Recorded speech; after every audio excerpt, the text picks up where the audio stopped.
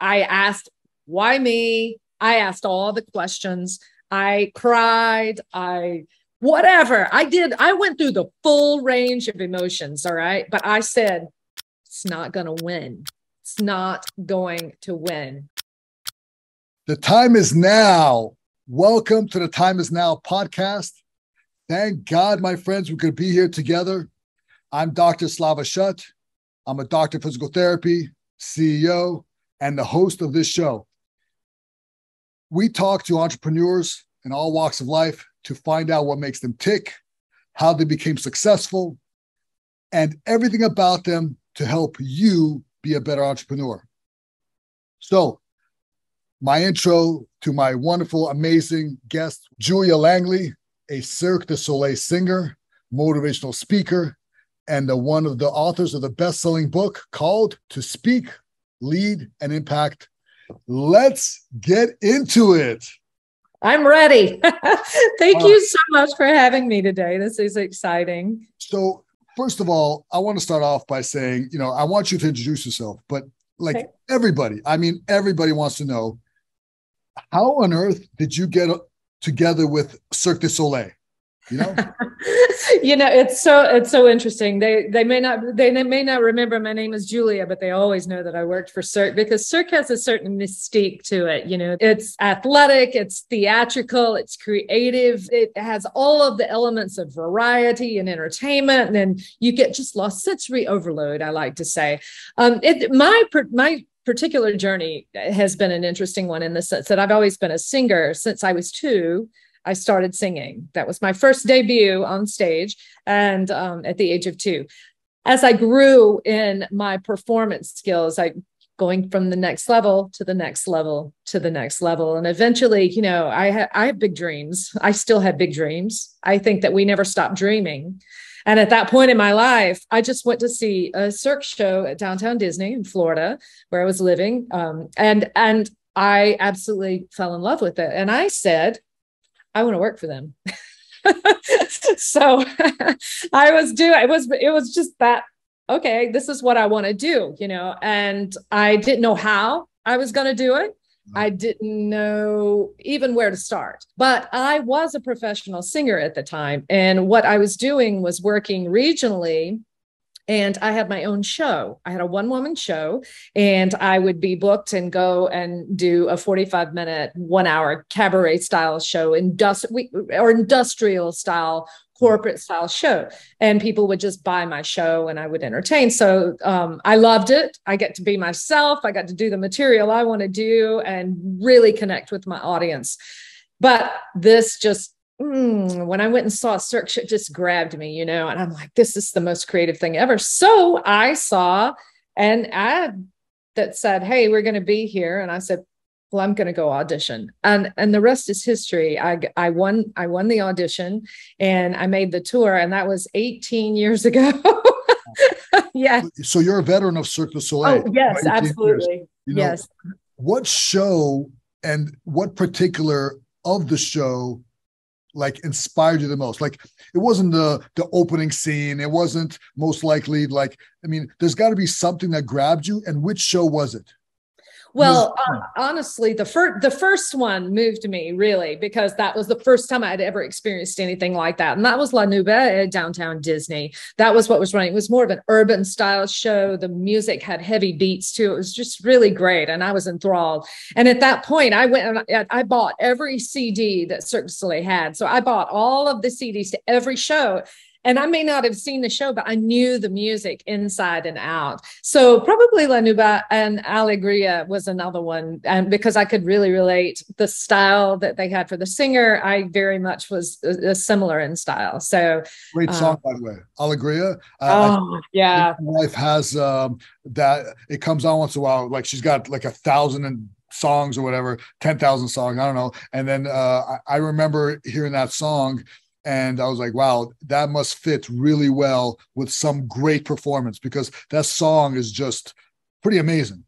It is it is amazing. All the music is amazing and honestly but there are some that were my favorites and that happens to be one of the favorites i think of all of the shows is the song the opening the opening song for alegria and and it, it, it's just so artistic. It's a marrying of athleticism and art artistry and they were just really able to put that together so well. And i i really love that. I call it theater for guys who don't like theater. So see anyone that's like oh i'm not into musical theater. I'm like you have to go see cirque you know it's going to change your whole perspective on what theater is and the arts and entertainment industry. So you know you're going to have a whole new view of the world and it's it's true still changing people to this day.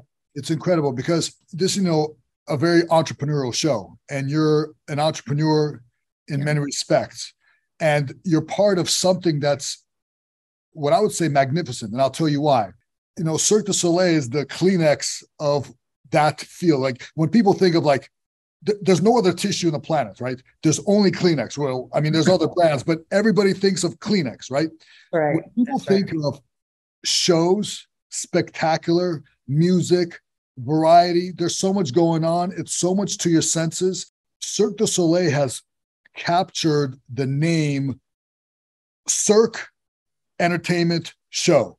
They, are, they have mastered that brand. And I think anybody who has mastered their brand like that is incredible.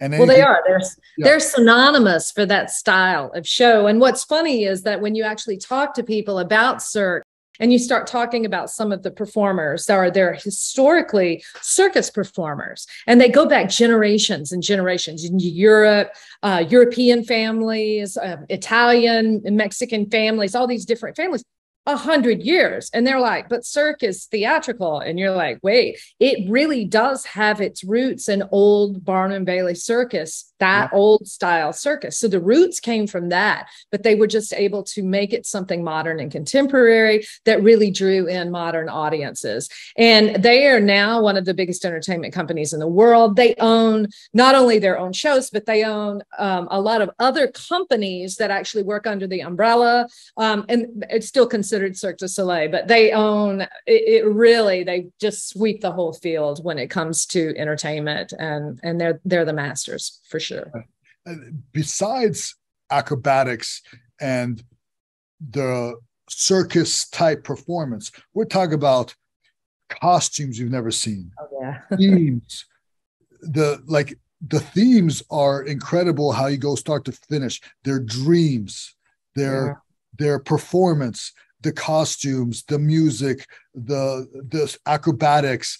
You know, you put it all together, it becomes thematic and spectacular. It's not. I've never seen a plain Cirque show. I've never seen a Cirque show that is one dimensional. There, there's so much going on in some of these shows. You're like, I don't know where to look. I mean, uh, over there, this guy's doing this. They're doing that over there. These guys are hanging from the ceiling. This one's. I mean, I don't. I, you know, like wow. It's like you don't know what to look at. I that's what I call it sensory overload. It really is sensory overload. You don't you don't you don't know which way to look first. I mean, there's something everywhere. So it just it enlightens the senses right ear the, the ears the seeing that you almost can taste like it's just a whole experience in itself and it's it's amazing it's not only amazing to work for them but amazing to watch too so Right. i still love although now i go and i even uh, when i go to broadway or i go to different places i i have a the entertainer's eye now so i'm looking it's really my friends are like "Ugh, i don't want to go with you to the theater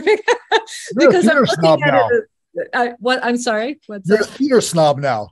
Yeah, well, I'm looking for different things. You know, I'm not just sitting there purely for entertainment. It's very, Right. it's They kind of ruined it for you. You like like you saw the top dog, so now everything else is like, all right, this is a little bit of slow motion. Like, yeah, have you ever seen There's like a little bit of that. like a, a, a movie from the 80s that was supposed to be like like science fiction? You're like, wow, this is I could see the lines. I could see like it's like what what happened here? How, what were you guys thinking? You know? little like- bit cringe worthy for sure. Yeah, I, yeah. I, I do. And I, I have that critical eye and I'm looking at it and I'm thinking, and I, you know, and I watch performers, like, ah, toes aren't pointed, you know, and I catch myself just sit back and enjoy the show. Just, just relax, you know. but I think that that's just, I mean, actually, and it's really interesting uh, because that's what plays into really a lot of what I'm doing now because um, I did have a little shift. I had um, a, a, really um, horrific accident in 2019. It did um, it did have an impact on me because it hurt. I, I was riding my bicycle in South Florida and crossing an intersection. I got hit by a Jeep, just broadsided. She ran out over me and I went out in the street. And so you can imagine I had five broken bones. Um, I had a head double uh, head trauma. I had a spinal cord injury. And, and then I diagnosed with PTSD. I am that, you know, when you see a Jeep bearing down on you, you know, it's a difficult um, a difficult really thing to get out of your mind. But so it did uh, set me back a little bit and then we went from there right into the pandemic. So every entertainment organization in this country ceased to be operate at all. So i i went from convalescence to a pandemic where you know i'm getting my letter in the mail from cirque where everyone in the entire company has been laid off and you know no one has a job anymore i'm not the only one this had far reaching to to everyone in a lot of different um a lot of different fields of work but certainly I felt the pain as entertainers, and a lot of my friends were entertainers. I had already been working for them for 18 years at that time, and I knew that I wanted to grow in my career. And so one of the things that um, I was doing when I wasn't touring was actually coaching. And I was working with people who wanted to get up on stage, and whether that be an entrepreneur, a speaker, um, or a performer who wanted to level up, but was really faced with anxiety or nervousness. You know, they they really it, they would they just were putting their best foot forward, and they couldn't figure out what they were doing wrong. And so these are the kind of the, the kind of people that I, I've been working with. And that period of time, although very difficult, I had four surgeries after that um, shoulder, neck, hip, and literally I had six weeks ago knee surgery. That was the fourth one six weeks ago.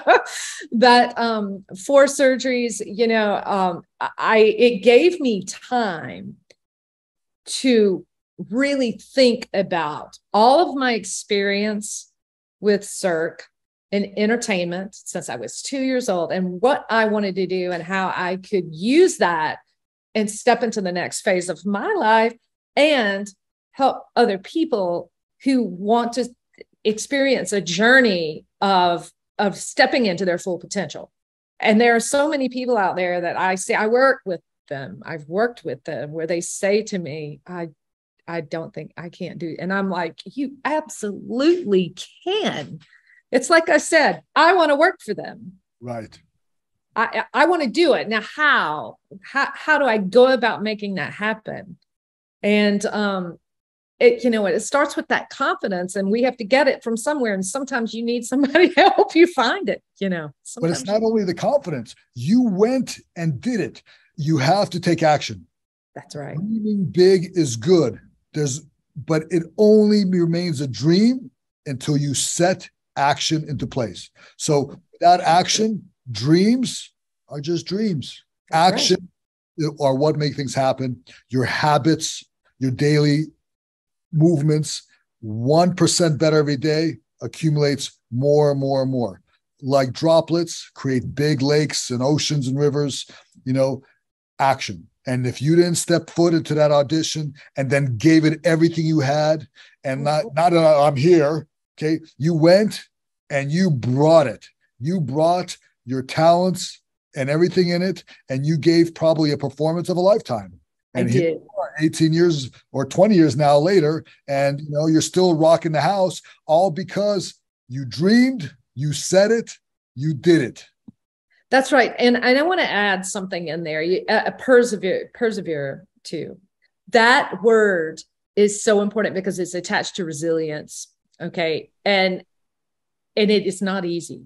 What we're talking about doing, I don't want to say you can, you know, oh, just step, oh, just go do it. Just go do it. You know, it is it requires grace with others grace with yourself it requires a grit sometimes that you don't know where you're going to get it from all right it requires taking yourself out of bed when you don't want to take the pillow off the top of your head sometimes. But taking that tiny, tiny step, and if you do, like you said, 1% every day, if you do those 1% every day, eventually they add up. And eventually you can make a big step into the next level for you and let me let me say this I, I always love to tell this particular story because when i first started i've always been a singer but when i first got into um, really booking and having agents and learning the ropes there I can remember I didn't have, I had a show that I'd put together, you know, but I had not performed it out because I didn't have the chance. So it's like, what comes first, the performance or the video? What do you do, you know? So I had an agent that was like, I'm willing to give you a shot. I need a video. And so I sent a video in. It was me singing the Star Spangled Banner. okay you know, I look back on that, and, and, since then, that agent and I had a whole conversation about it, and he laughed about it, and I did too. That someone actually gave me a job based on me singing the Star Spangled Banner. But what I'm trying to say about that is, I didn't have a big fancy video. I didn't have a video of my show. Period. All I had was some raw footage of me at a charity event singing the Star Spangled Banner, the national anthem. I had it on video and I sent it in. I said, give me a chance. I'll make, I'll, I'll do you right. I will make your clients happy. They gave me a chance. My first show, I got a standing ovation, and the rest was history. See, that's what I'm talking about. We're talking about perseverance. You know, we talk about this in the show all the time that grit, the determination, the perseverance.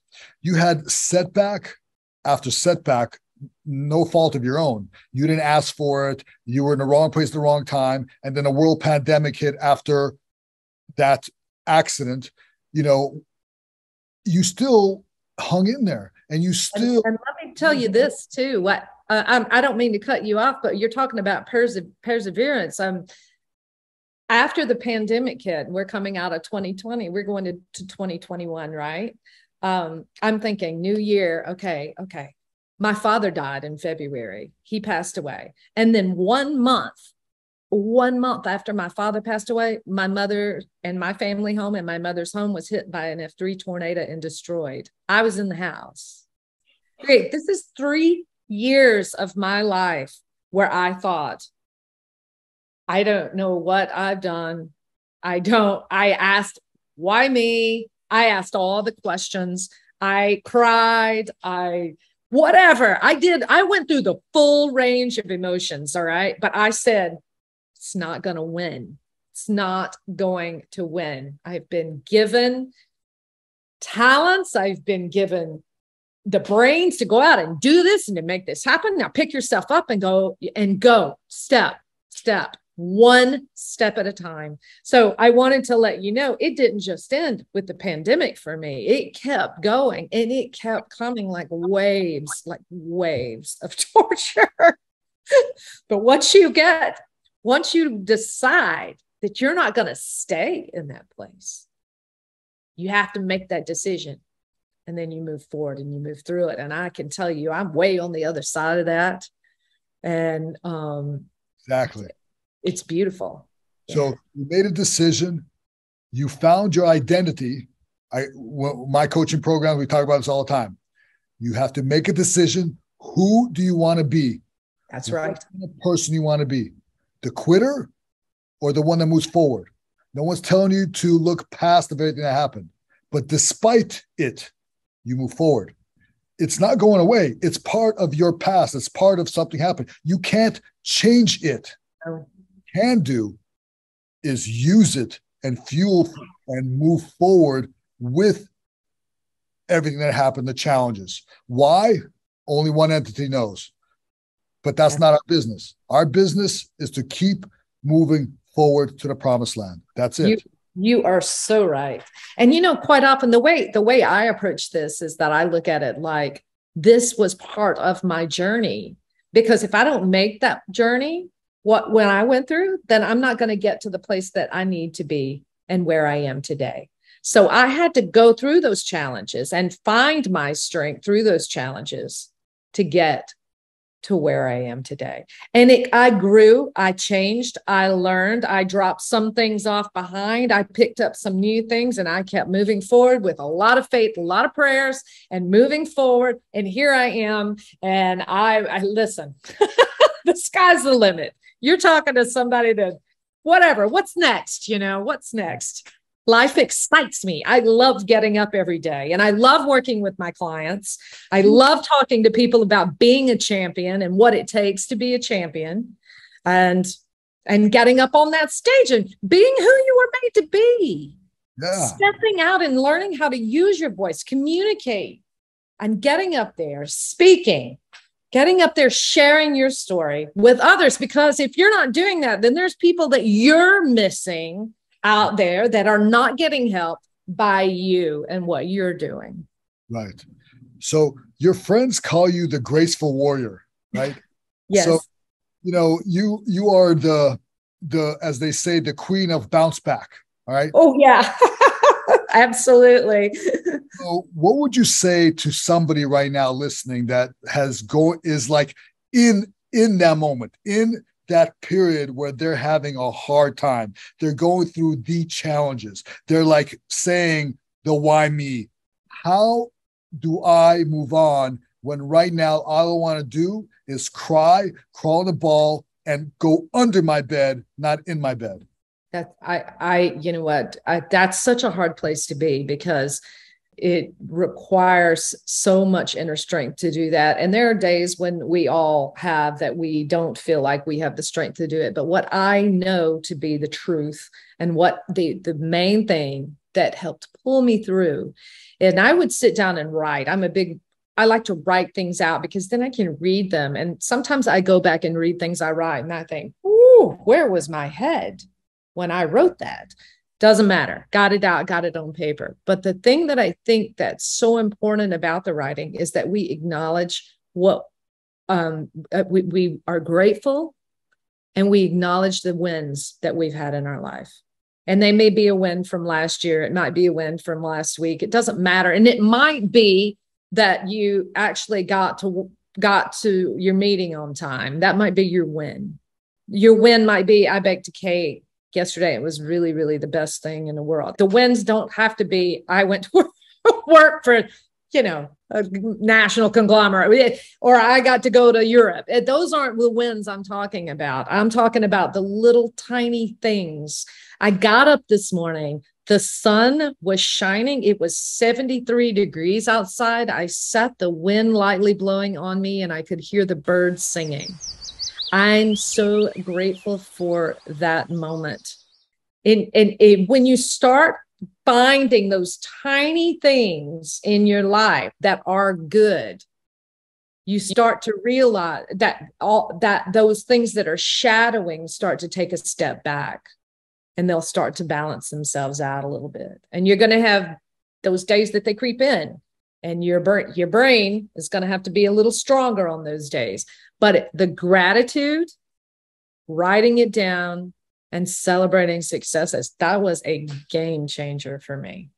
How about even a smile at a stranger? How about That's right. open for somebody? Those those nice things are gone. Rarely do anybody practice chivalry or like we're so in our own bubble. What's next on Facebook? I want all these likes. How about open a door for somebody next time. How about a smile and a hi and a good morning to somebody? That's a big win.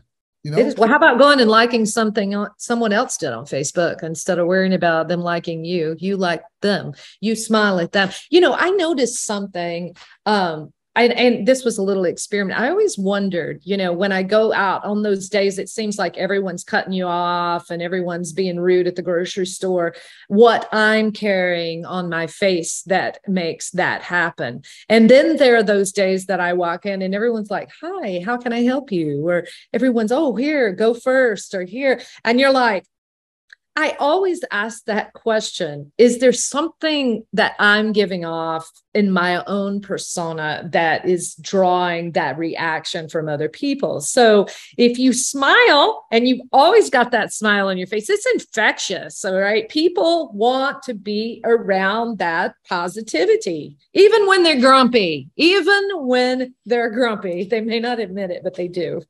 I love your tools. You know, you you seem like a hands-on person using the tools that you have. You you wrote a book, right? And yes. you called it Call to Speak, Lead and Impact. So congratulations. Thank you. Take us through the process of putting your thoughts to paper and like the actual book, not just the notes that you keep, you know, for the daily journal, but you know, writing a book, people don't know it, it's it's not easy putting an entire book together. Can you That's take right a little bit through the process of how you wrote this incredible book? Absolutely. And I'm gonna I'm gonna gloat just a minute here. I it, this was a collaborative project. Um, I did write with some other authors as well, but we are number one bestseller in 12 different categories so we got yeah i'm so i'm super super excited about that and um, in public speaking uh too number one in public speaking which of course is my field but putting the book together was it was very very interesting because i am a writer and i have other books that i'm going to be following up with. One about the circus. You'll have to keep your eye out for that. What about the circus? But this is a business book that we wrote and a lot of the um, the chapters in there do talk about very similar things that we're talking about those tools that we need in life to really get us through the challenges and to the next step. And you can see real life stories about that. As far as writing for me, I like to get my ideas out. And I have a writing program that I use, fortunately. So I'm able to write and then I can move stuff around. So I'm not one of those people that will write start to finish. I'll write and I'll be like, oh, I have a great idea. And I'll go down here and I'll write and write. And so then I start to formulate, get the formula and start putting it in place so the flow works, uh, you know, as I'm going through it. And then what with the outline that I almost write the outline afterwards because I know the goals of what I want to do. I know the opening, I know the ending, but I don't know the flow often. And that's what's really hard about writing is eh, can you imagine writing way back in the day when we didn't have technology and you didn't have a way to move this stuff around? Did you just have to rewrite it over and over again? Whole mind. It was like it would it'd be everywhere. Like I, I, don't know. I can't even imagine. Uh, I'm glad I never had to go through that. So I'm glad I'm in modern technology to put out my thoughts and amazing people kind of put everything together for me. Because you know my brain is like I got files open everywhere in my brain. You know, so that's that's amazing. that technology could help you like that. Well, it really does. And it, it it's good for me because, like I said, you know, I'm here, here, here, here, and here. But then I start to see where the, the, patterns, I look for the patterns. I start to get the flow going in it. And then I use my software to move and, and to get and to get the flow, the the re, the relating to answer the questions that I want answered and to meet the goals of what I want to accomplish in my writing. So it's all and here's here's a tip. Here's a tip. Go to the end first write your end, know what you want, know what the point is. And then so there's a big, there's a big writer's tip for you. Yeah. Ending and then reverse engineer everything leading up to it. I love it. I'm a big believer. Yeah. So I, I mean, we use that in our everyday life. Why wouldn't you use it to write your book? Know where you want it to go and then work backwards from there. Beautiful. Yeah. So on your website, it's, it's it says that you can be booked for performances and things like that. What is the weirdest and coolest place or performance you've ever had? There are several, but one of the most heartfelt um, ones, and it was blew me away, was I performed on Pearl Harbor Navy base in Hawaii in an air hangar. And yeah, they were expecting something like 5,000 people, maybe not even, something like 15,000 people showed up for this thing. and they had all of the doors open. It was on a January night in Hawaii. It was magical. I walked out of the electricity.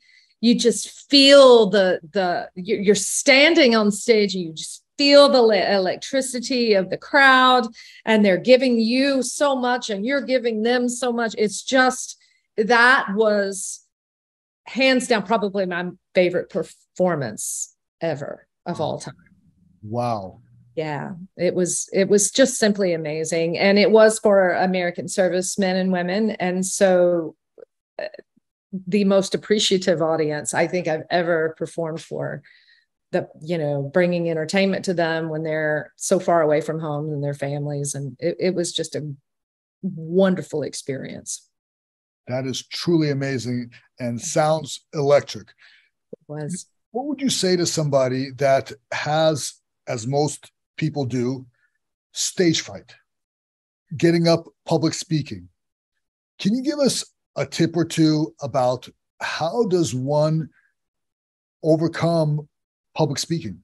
Absolutely. Um, this is something that I talk about, and I'm actually going to have a master class on December 6th on this very topic overcoming nervousness. So you can get those paydays, get those top tier clients that you want when you get up there and you speak. So let me give you just a couple of things, to touch on a couple of things here. One of the first things that I like to tell people to do is that you have to spend time beforehand visualizing. Visualizing. What do you do when you visualize? You visualize the end. We're just talking about going to the end. Visualize the outcome that you want and then work your way backwards. All right. You want them standing up? All right. That's what you're going to visualize. Yes. You want these people leaning in saying, I want to buy from you. I want to be your client. All right. That's what you start with. You visualize it because if you're standing up there and you're visual or beforehand and you're visualizing yourself being nervous and you're visualizing yourself being meek and scared, you're going to be meek and scared. You are going to put out on stage what you do beforehand. That's exactly the truth. So you have to think about positive endings. That's one thing. And I'll give you another little tip here. Laugh at yourself and the circumstances a lot. You've seen that uh, what is there's a there's a commercial where Mayhem, you know, the guy, he's he's named Mayhem and he falls out of the sky and he's like, Mayhem's here. Yeah, because things happen. Mayhem happens all the time, especially when you're on stage. The internet goes out, the sound goes out. Um, I've had a wig fall off. I've had dresses come undone. I got hit by an emu one time, and somebody dropped a trapeze flyer on my head one time. Okay, I could go on. And oh, one time I got my hair attached to a tree, and the tree. I was walking, and this nine foot tree was attached, and it was rolling behind me. It was really quite funny. You were pulling a tree with your hair? I was. Well, I had a headpiece on that stuck up to like, you know, about, I don't know, eight inches above my head. And I was standing at the end and I was like, we were doing, it was the very end, right? And I'm doing this, the violinist is playing and I'm doing my thing and whatever.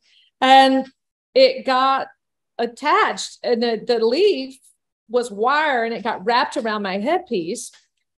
And So I, I was trying to get it out. It wouldn't come undone. See, that's what, why you're the graceful warrior. it would not come undone. So the violinist is like playing and he sees what's going on, right?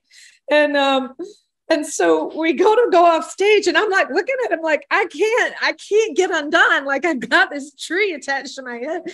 And he leans down, he's like, You have a tree following you. And literally I was walking, my head was like this and this tree, and it was like nine feet tall, it was huge, and it was it was rolling behind me. Then the tree completely falls over on stage.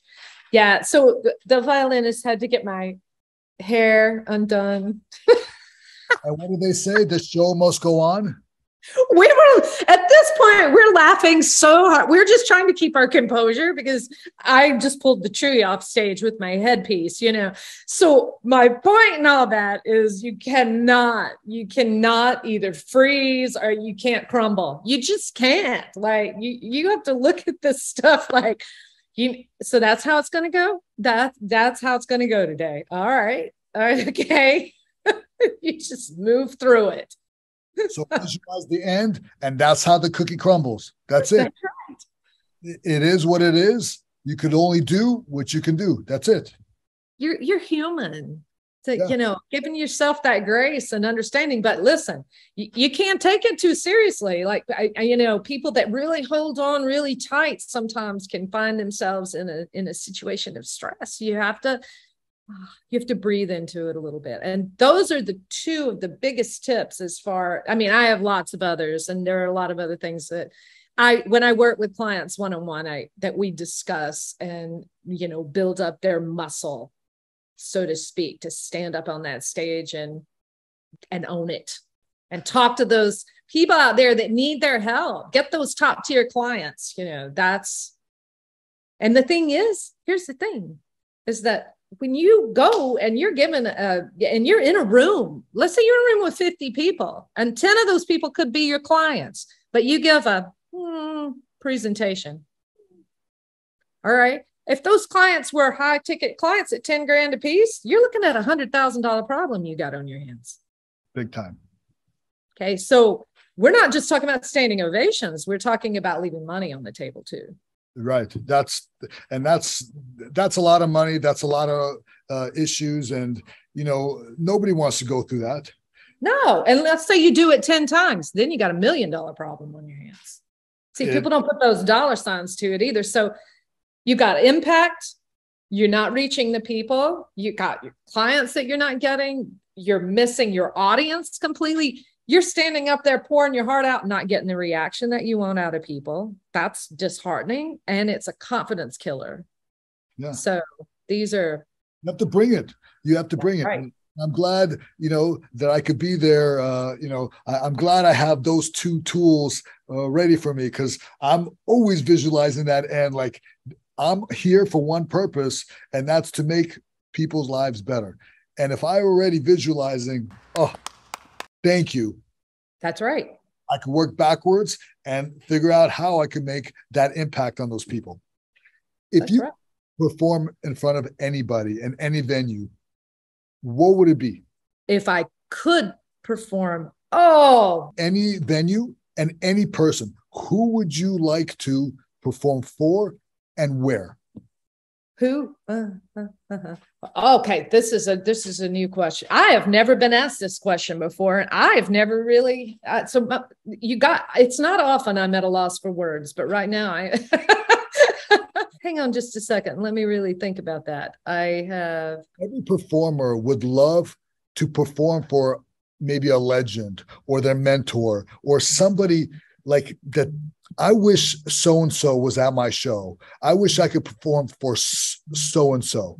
You know, like for a basketball player, like like I would love to have played with Michael Jordan. You know what I'm saying? Like I would have loved to go one on one playing against or for Michael. Like, is there someone you would like to play for, and what venue would you be like? Wow, I would really love to perform here. Well, I would love to perform at the Oscars. Oh. that would be amazing. That would be amazing. Okay. I mean, that's a pinnacle. So, so really. Kodak. At the Oscars and then in front of all these celebrities. I'd love it. I think it would be great. Yeah, I'd be nervous, but that would be amazing. Amazing. Visualize that end. Hey, you give me a new goal. Well, you know, and you and you know what? You do say that there, this is something that uh, this is a very realistic goal, and it's not just performing a. I I do um, a very heartfelt show every year. It's a holiday show that I do at um, a, a, a theater in in Western Georgia to raise money for scholarships for them. It has got Hallmark written all over it upside down backwards all right it's a small town it's families it's it's sons and fathers singing together, mothers, daughters, they're coming together. We have a band, 20 singers, thousands of dollars of scholarship money to pay for thespians to go to college when they graduate. It's just, it's got all of the elements that Hallmark stands for and the family and it that that would be something that I would I would think that wow, I that's like the pinnacle of my career. If I could have a movie or a do a reality type thing or a movie on the Hallmark channel. And that I have visualized the end already on that one. I don't know why I didn't come up that one first. Oscars second to the Hallmark channel. I, I wish you the best of luck with that because you know you dream it, you make it, you're an action taker. I I, I think you're gonna do it. I can't wait to see you on the Hallmark channel, followed by the Oscars. Thank you. Yes. we we like to play a game with all our guests, and we come up with different games just to make things. Sometimes we get into deep topics and stuff like that. So we like to make things a little fun and light. So the game is called Would You Rather, and it's the stage edition. A pretty common game. For those of you who might not know, our guests will be given two options and have to choose the one they'd rather do. But we're putting a fun twist on this one and doing a version just for Julia. So let's get into it. Okay, now, I'm ready. All right. Would you rather have to perform with a live tiger or while being heckled by Simon Cowell? A live tiger. Yeah. yeah, any day. I love animals. Yeah, I'm in the circus. Are you kidding me? I imagine that would be more comfortable for you than standing there giving a great speech on stage and someone like Simon Cowell is heckling you, telling you how awful you are. Yeah, that that might be a little disheartening. The tiger, yeah, yeah. I could see you being the warrior. You'll be fine with that one. Yeah, yeah, the tiger's fine. Yeah, right. I, oh, I'd take that. And and Sam, Simon Cowell's fine too, but I'd rather him just tell me not on stage. Just right. send me a message behind the curtain. so here's number two. Would you rather perform on a cruise ship for the same crowd every single night or be the designated birthday singer at a Chili's? Cruise ship. At least you get to see different ports of call. Oh, The crowd, yeah. the crowd, but the ports of call are different. I love it. Yeah. I, I don't know if I want to sing at Chili's either, but you know, it, it's all good. I mean, you know, they do great happy birthdays there too. But you, it's a yeah. I'm a traveling girl though, so it's the travel. It's the element of the travel on a cruise ship that would interest me. I think that that would be what my draw with that. the same crowd wouldn't bother you. No. Perfect. All right. So let's go number three. Would you rather perform for an amazing private client or in a stadium of thousands? A stadium of thousands. I agree. That's I think, very easy thing. Yeah. I mean, if somebody paid me, I don't know, let's say a million dollars it would be great to give us one-on-one speech. I mean, it'd be cool. But like standing in front of thousands, inspiring thousands at once, I mean, that I, I agree with you there. That that would be like just, you know, spectacular. And I'm going to be honest with you, and some people might disagree with me, but from where I have been in my journey, singing in front of thousands is way easier than singing in front of 10. See, in front of thousands, it, it's it's more anonymous. Truthfully, as a performer, it's more anonymous. So, well, I got I have a treat for you then. I okay. know impromptu, but I know the audience and I know the questions are going to come in because I know my audience. And I'm not sure how many thousands are watching and listening and are going to send messages in, but people are going to want to, you to sing a quick note to show us the goods. I want to hear an impromptu, like a, you don't have to give me the whole song. I want to hear a bit of a song, your favorite song, whatever you want, off the top of your head, impromptu. Give us a little taste of those windpipes. Okay. Give me just a second. Okay. Give me just a moment. Yeah. All right. Here, can I stand or no? Is it too maybe? stand. You could skip. You could jump. You could do somersaults. You could do whatever you want, girl. Okay, here we go. Let's say it. Spirit,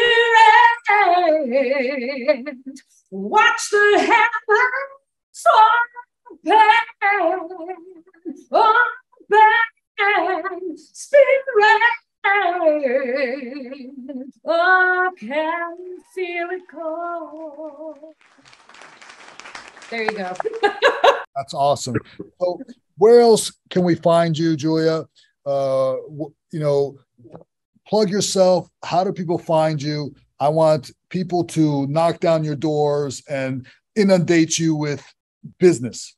So I would love that. I would love to set up calls with people. You, you, guys call me and we'll talk about speaking, your roadmap to speaking. I what I'll do is I'll give you my Calendly link, and that way people can just do that and we can have a chat. All right. That's, I love talking to new people, connecting with people, and really listening to their stories and finding out what they're doing in their business and what's where they want to go with it. I enjoy that. So I'll give you my Calendly link.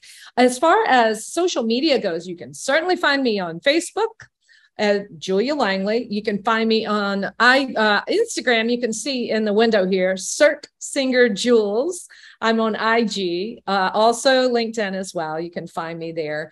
Um, so those are really the best places. And on my Facebook, I have some videos. I'm going to start doing my lives again on Monday nights. So, um, and that'll be seven o'clock Eastern. So I have to count it back. Uh, maybe I guess that's four Pacific, where I will come on and I do about a 15 minute we talk about the topic of the day. Sometimes I bring people on for five minutes or so, and then I sing.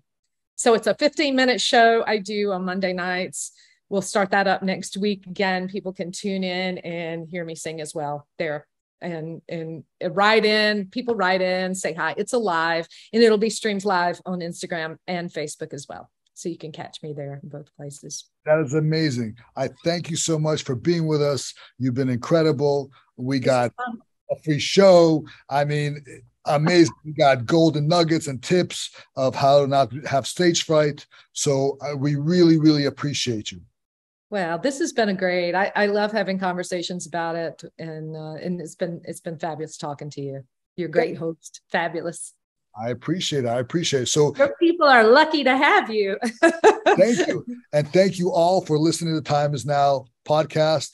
Be sure to like and subscribe if you're watching us on YouTube. If you're listening, make sure to rate us on Apple Podcasts and Spotify. Thank you for listening to Time is Now with me, Dr. Slava Shut. It'll be posted every Friday, 2 p.m. Send in your questions to Dr. Slava Shut on Twitter. And thank you, thank you, thank you.